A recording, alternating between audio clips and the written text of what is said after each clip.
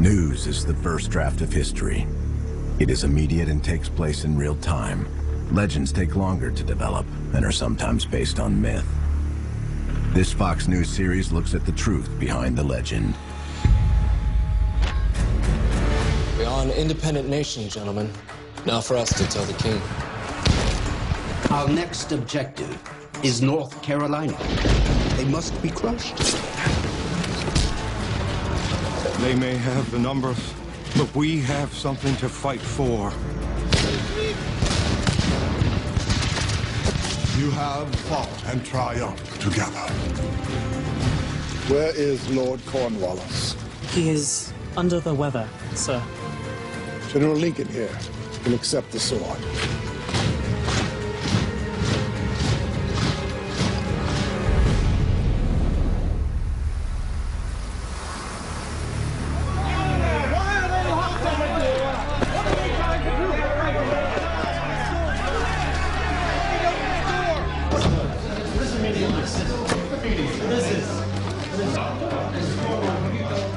Gentlemen, our nation is on the verge of collapse because we are not truly one nation.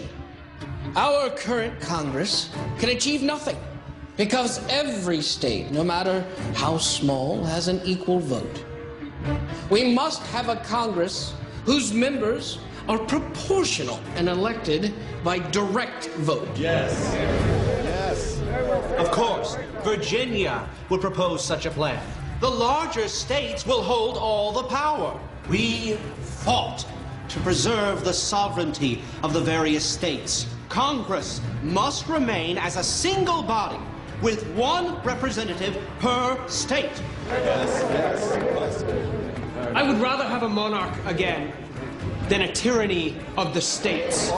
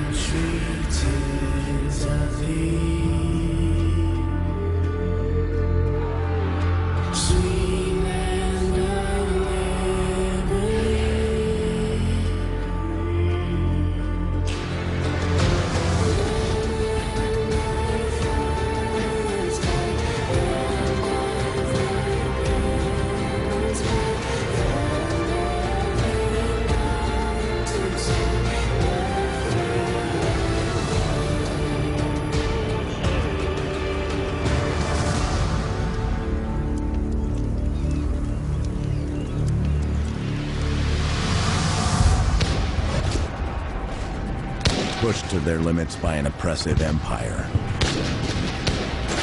A determined group of rebels unites under the cause of liberty. Their quest for freedom will unify a people, ignite a revolution, and forge a new system of government. In time, these brave men and women will come to be known as the American Patriots.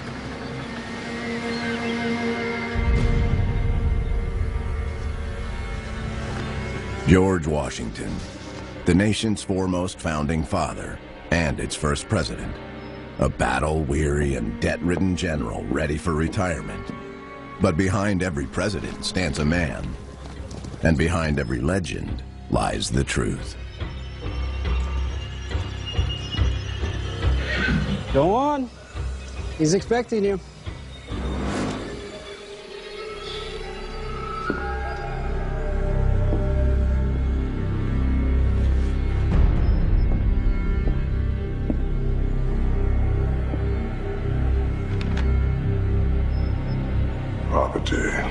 Be seized immediately in order to satisfy these debts. Delivering this news, it presses hard upon me, sir. Have I truly fallen this low that I no longer command the title of respect I once did?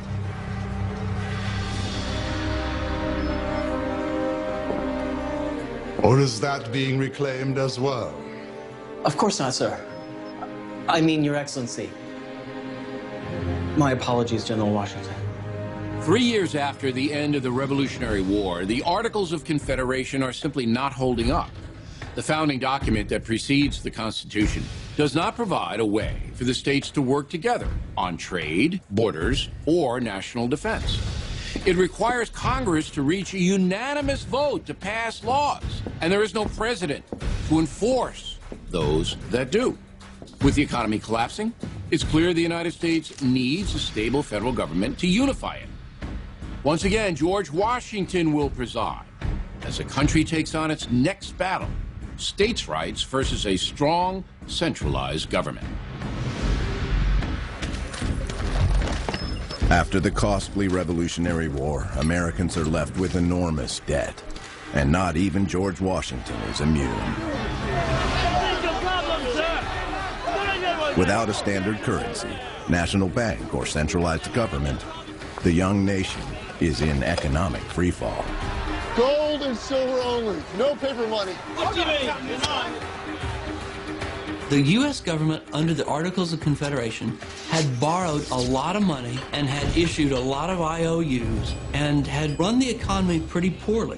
Washington saw the American currency collapse, inflation spiral out of control to the point where it cost $150,000 to buy a horse.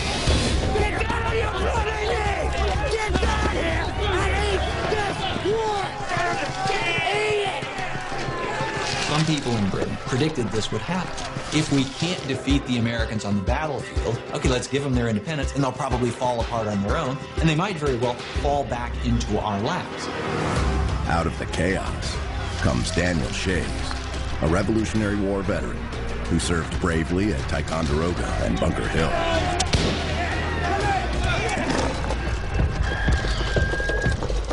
Sir, are you all right?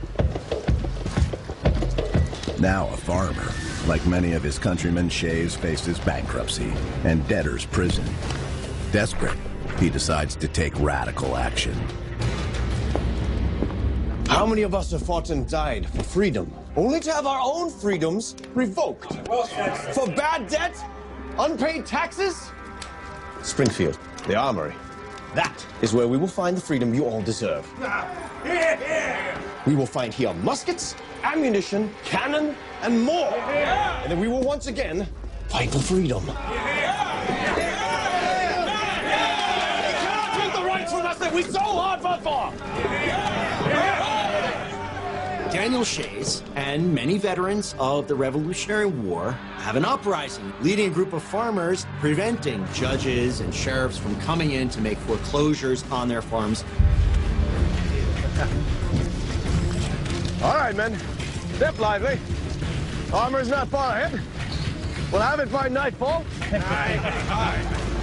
Shays plans to overthrow the Massachusetts government by marching his ragtag rebels to Springfield, capturing the National Armory, where most of the military's weapons are manufactured and stored. Shays expects to find the armory undefended. The Continental Congress could not get the states to put up any money to support the troops. They had to actually ask the states to voluntarily provide soldiers. Massachusetts state legislature is able to raise a militia against Shays' rebellion.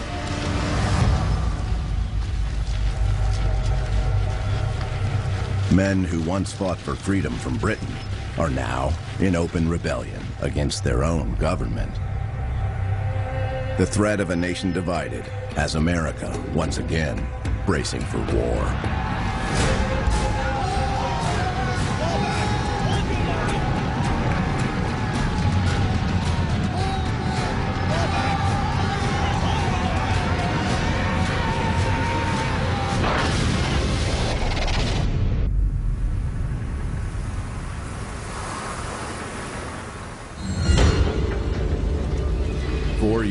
After winning independence, the American government, under the Articles of Confederation, is weak and ineffective.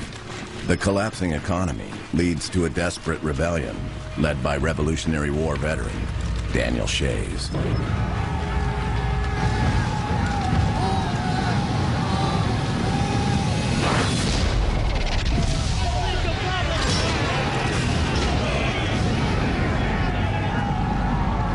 Shays' rebellion ends in defeat, it will have a huge impact on the young United States.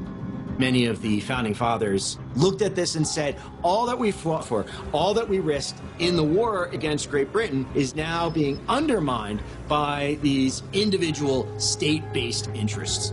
We got to do something about this. We need to reform the Articles of Confederation.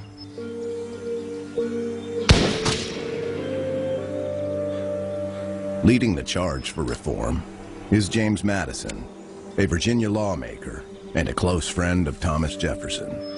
Madison believes America needs a strong national government, or Shays' rebellion will be just the first of many bloody revolutions. If you had to say that there was a, single father of the U.S. Constitution, you would definitely say it was James Madison. A bookish kind of guy. He wasn't the best speaker, he wasn't dynamic, but he did his research. Always the best prepared guy in the room. Violence in Massachusetts will continue and spread to other states. Without a true national government, we shall have anarchy. Congress has called a convention in Philadelphia to amend the Articles of Confederation. I intend to conceive an entirely new constitution. You understand that many will see this as an act of treason. Not if you're involved. James Madison visits George Washington to try to encourage Washington to come out of retirement. The American public needed to see that he was on board with the new founding document. And moreover, he was convinced that the country itself needed Washington and needed his leadership. Tell me you'll attend. Do I have any choice in the matter? While the Articles of Confederation have become inadequate, the challenge in replacing them is convincing the public and lawmakers that a constitutional convention will not result in a return to monarchy. Many fear the father of the country could soon become its king.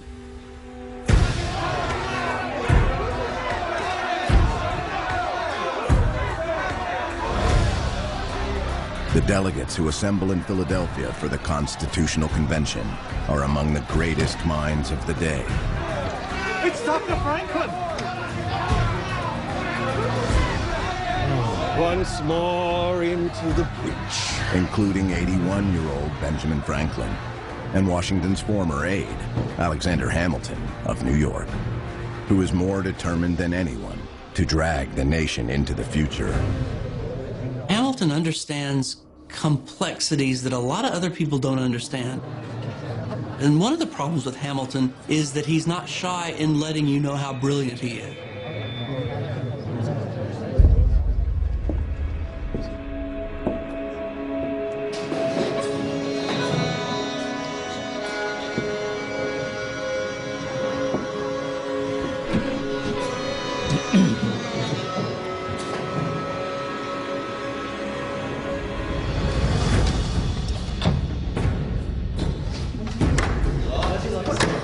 Secret society then.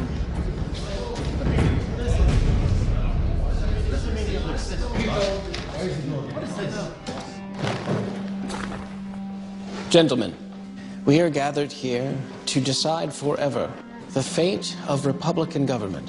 We must be able to debate ideas freely without fear that our words will touch off a firestorm.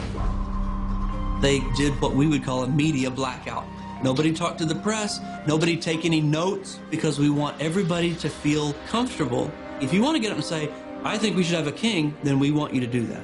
Prior to proceedings of other business, we must select a president of this convention. There is but one choice General George Washington. All in favor?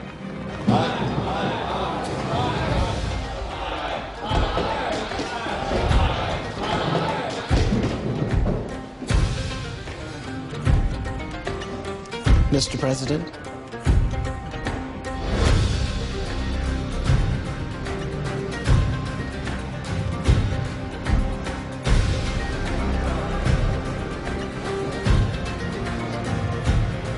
I see no prospect of a speedy return to Mount Vernon.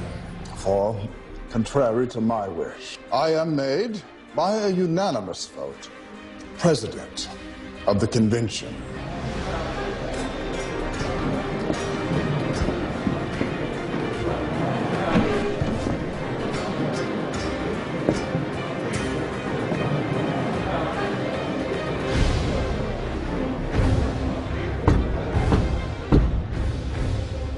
Gentlemen, the floor is open. Though Washington doesn't want to be in charge, only he has the authority to hold these fractious delegates together and guide them toward creating a new government. But even Washington's leadership might not be enough. Washington was a master of silence. The fact that Washington presided over the Constitutional Convention but did not engage in the debate really helped. He was above it all.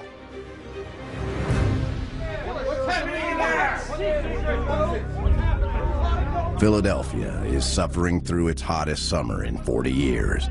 Yet, to keep the proceedings secret, the delegates are locked inside with the windows shut. Outside, angry protesters demand answers, fearing the convention is naming a new king. Does anyone have an idea as to how we should govern this damn country? One of the great myths in American political life right now is the myth of original intent of the Constitution. There was no original intent. Uh, 55 guys show up and they had like 55 different opinions about what should happen in the course of this summer. Some were going there to reform the existing Articles of Confederation. Some are going in there to tear the whole thing up and come up with a whole new constitution. Our nation is on the verge of collapse because we are not truly one nation. We must replace the Articles of Confederation with a unified national government. Under Madison's plan, less populated states will have reduced power in government, and so will their representatives, like New Jersey's William Paterson. This convention has but one purpose, sir to amend and correct the Articles of Confederation, not to replace them. I may have but one leg. But even that is a more stable foundation than the one upon which this country is built. Let us hear the Virginia plan. It wasn't thought of as a single country. They were these 13 sovereign entities under themselves, and they loathed to give up the attributes of sovereignty. We must have a Congress whose members are proportional and elected by direct vote. Of course, Virginia would propose such a plan. The larger states would hold all the power. Gentlemen, I would rather have a monarch again than a tyranny of the states. Open the damn door!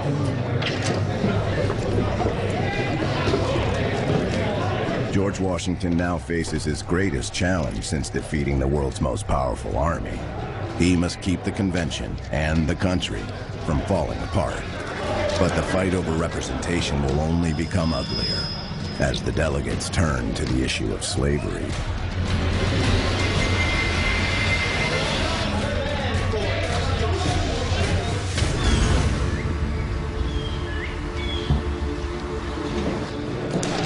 The United States of America are on the verge of breaking apart. As the summer drags on, the Constitutional Convention is deadlocked over how to divide power among the states and a centralized federal government.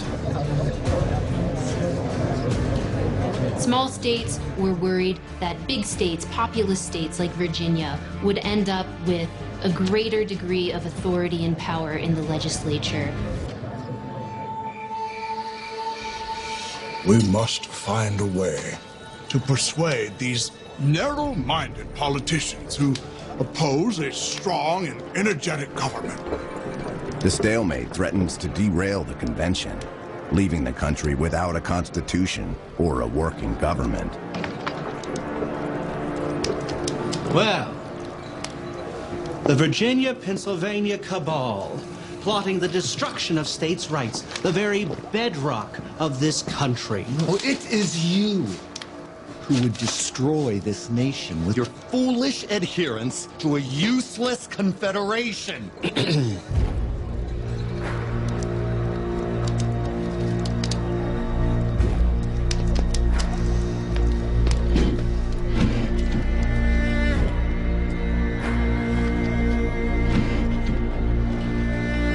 Mr. Paterson, without compromise, we cannot be secure or respectable, both here and abroad. Precisely. New Jersey would welcome a true compromise. It was politics hard at work, with different groups advocating their particular positions. But there was also an understanding that in politics, you don't get everything that you want. And what emerged was a compromise. The Great Compromise breaks the impasse among the states, creating a Congress with two houses, the Senate, where all states have equal power, and the House of Representatives, where representation is based on population. But the deal gives slave-holding states an opportunity to hold the convention hostage.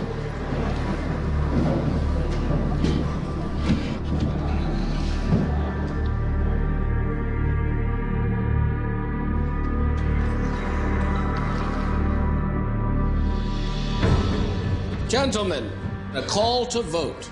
Virginia. Aye. New York.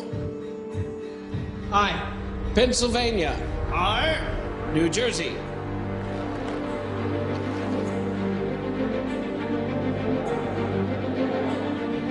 Aye.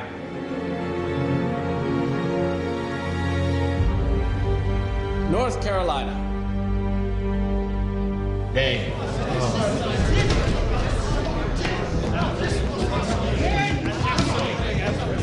This will not work.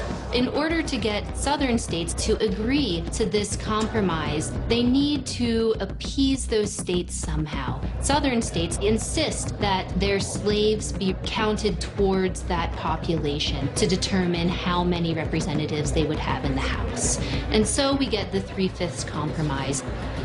The Three Fifths Compromise is a concession that forever stains the Constitution. While slaves have no rights, they are still counted toward representation, but only as three fifths of a free person. That agreement gives slave states 30% more representatives than they would otherwise have. The balance of power has shifted towards slavery supporters. But language is included in the compromise that will eventually make the Constitution a tool to end slavery altogether. Gentlemen. Gentlemen, a call to vote.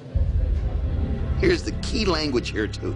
All other persons, not property, but all other persons will be counted, three of every five, for the purpose of representation.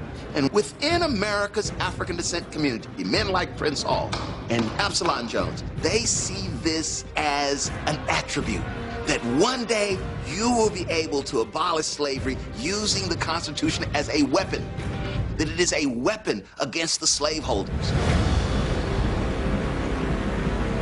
After nearly four months, the final draft of the Constitution, a combination of high-minded ideals and painfully pragmatic compromises, is presented to the delegates. We, the people of the United States, in order to form a more perfect union, establish justice. The idea that men gathering in Philadelphia and during one summer could create a government. It was a novel concept. It had never happened before. No one knew if it was going to work.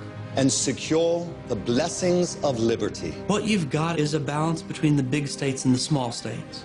But you also have a balance between the three classical forms of government monarchy, aristocracy, and democracy, each of which the architects of the Constitution understood to have flaws, but if you could somehow combine those three forms into one, you could use them to check the flaws of the other. Done in convention by the unanimous consent of the states present and of the independence of the United States of America, the 12th.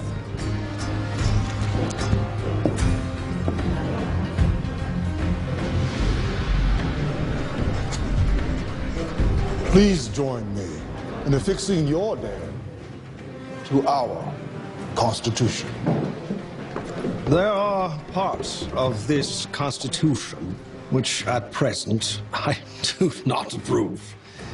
But I consent to this Constitution because I do not expect better. But I am not sure that it is not the best. The Constitution is signed, but the new Congress needs to establish an executive branch and choose a president. All eyes are on a man who doesn't even want the job. There was skepticism that any single individual ought to be given very much power. But there was also a feeling that the weakness of the Articles of Confederation was that there was no executive authority. There was nobody who could actively enforce the laws. To allay the suspicions of those skeptics, the supporters simply pointed to George Washington. In many ways, the office of president was designed with him in mind. And his friends, his colleagues are telling him that he can expect to be elected president. I have often looked at that behind the president's chair without being able to tell whether it is rising or setting. Now, I know it is a rising sun. So,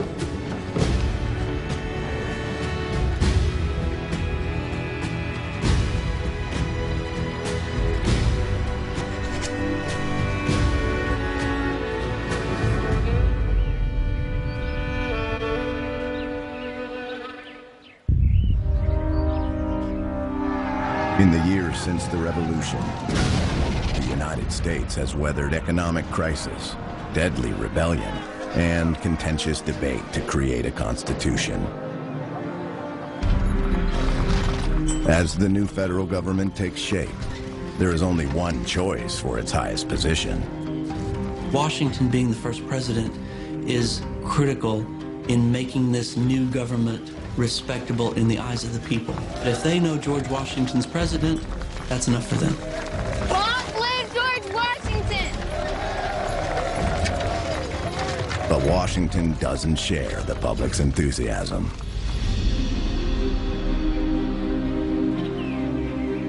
My movements to the chair of government will be accompanied with feelings not unlike those of a culprit who is going to the place of his execution.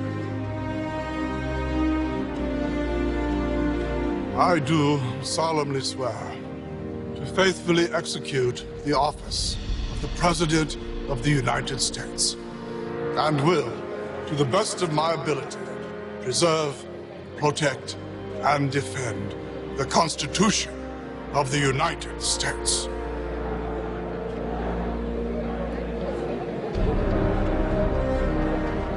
It is done. Long live George Washington, President of the United States. While George Washington is the trusted head of the powerful federal government, he will not be in power forever. Men like James Madison and Thomas Jefferson worried that a new leader could constrain individual rights. For them and their fellow Democratic Republicans, it's vitally important that personal freedoms are not simply implied, but expressly written into the Constitution as the Bill of Rights we so value today. Well, the genesis of the Bill of Rights is several states being suspicious of the power of the new central government. And several states said, if we can add individual rights to this document, then we'll sign on and support it. It's James Madison who sits down and writes those first 10 amendments, which we know as the Bill of Rights. 1. Congress shall make no law respecting an establishment of religion, or abridging the freedom of speech, or of the press. Our country is in danger. The measures taken by our Congress must be steadily pursued. 2. A well-regulated militia, being necessary to the security of a free state, the right of the people to keep and bear arms shall not be infringed. 4. The right of the people to be secure in their persons against unreasonable searches and seizures shall not be violated. 10. The powers not delegated to the United States by the Constitution are reserved to the states respectively or to the people. The Constitution defines the power of the American government, and the Bill of Rights defines the inalienable rights of American citizens.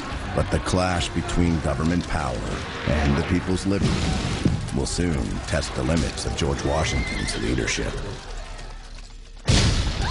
The only answer now is to declare our independence. America is at war, Dr. Franklin. Welcome home. For more revealing stories on these and other patriots featured in Legends and Lies, purchase the companion book, available at BillO'Reilly.com and bookstores nationwide. With the Bill of Rights and the Supreme Court in place, the individual rights of Americans are protected. But the country's massive war debt threatens its very survival, and Washington's solution will ignite another revolution.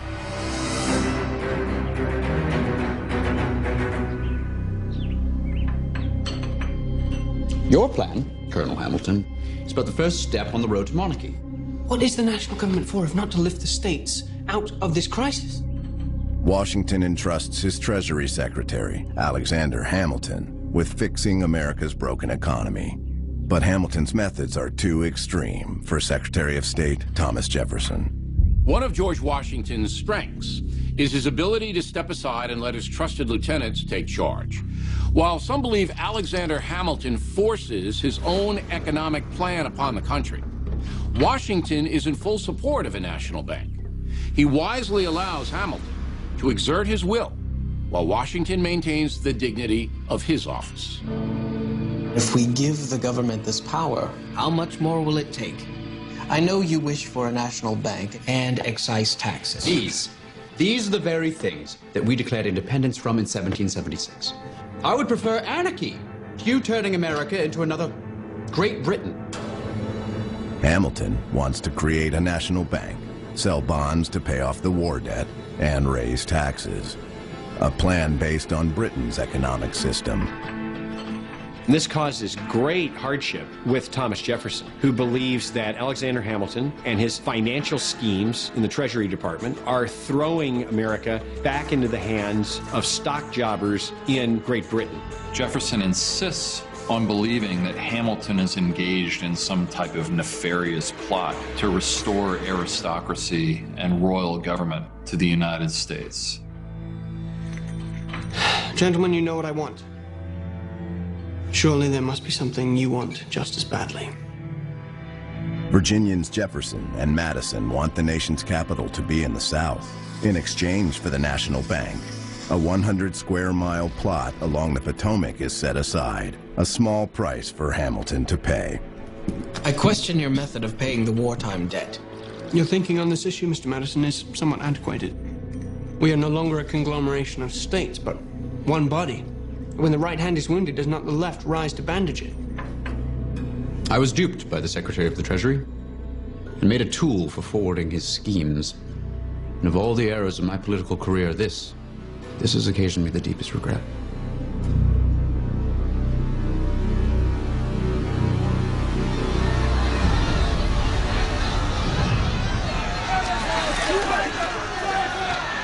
Hamilton gets his way, but as the federal government exercises its power by taxing whiskey, Pennsylvania farmers who share Jefferson's views see this as tyranny.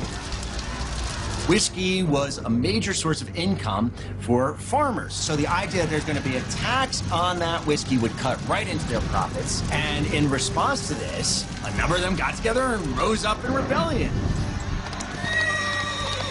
You wish to enforce tyranny? We enforce a higher law. This is what we think of your whiskey tax. Angry farmers come out in force, attacking tax collectors. Some are tarred and feathered, while others have their homes set upon in the dead of night. Washington and Hamilton believe that a show of force will be needed in order to show that the federal government actually has some authority, and so they come out in force.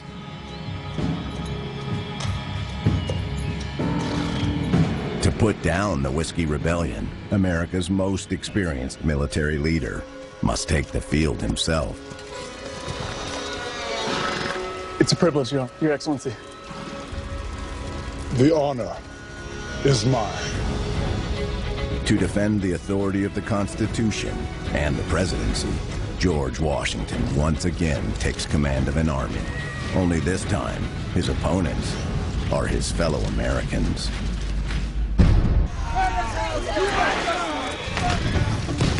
The Whiskey Rebellion is the first test of the new federal government's authority.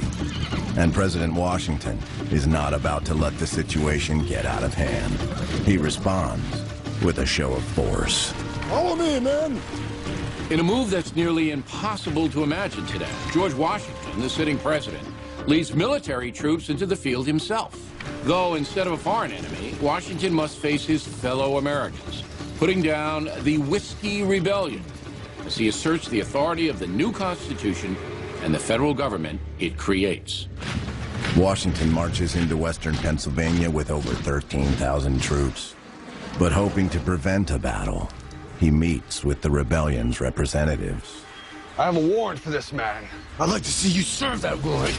Gentlemen. Son of a... We're only defending our rights. What we fought for in the war.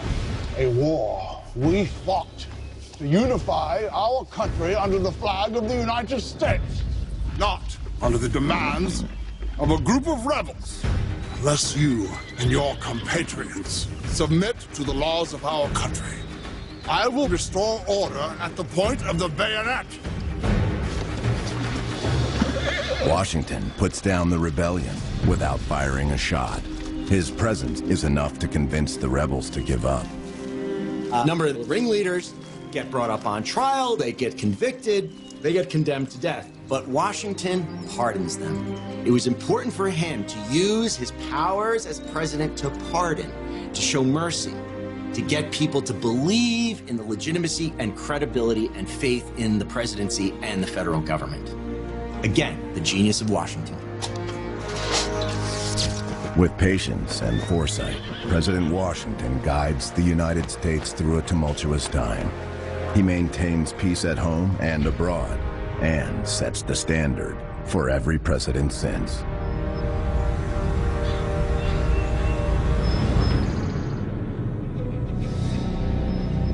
But at the end of his second term, Washington is ready to gracefully step aside and let others continue the grand experiment in democracy. Every day, the increasing weight of years admonishes me more and more that the shade of retirement is as necessary to me as it will be welcome. So let me warn you against the spirit of party, by which cunning, ambitious, and unprincipled men will be enabled to subvert the power of the people. And now, I anticipate the sweet enjoyment of good laws under a free government and the happy reward of our mutual cares, labors, and dangers.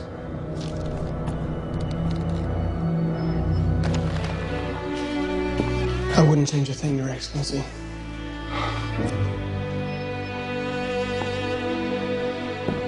The inauguration of John Adams is the last public appearance Washington plans to make.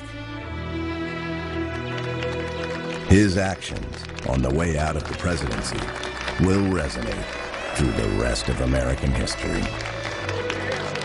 One of the most important moments in the history of the American Republic was the first peaceful transfer of power from one president to another. This did not happen. Once you got power in those days, you kept it. I do solemnly swear. I, John Adams, do solemnly swear that I will faithfully execute the office of the President of the United States. There's a story about Napoleon. In the waning years of Napoleon's life, he makes the comment, they wanted me to be another Washington, and I couldn't do it. And will, to the best of my ability, preserve, protect, and defend the Constitution of the United States. George Washington exemplifies true patriotism and honor as he calmly steps aside for John Adams to become president. Instead of desperately holding on to power, Washington relinquishes it, trusting the Constitution keep the country on track and setting the definitive example to the world of the peaceful transfer of power. Unfortunately, despite their brilliance, the men who come after him are not George Washington. Their ambitions and vengeance threaten to destroy everything father of the country has worked for.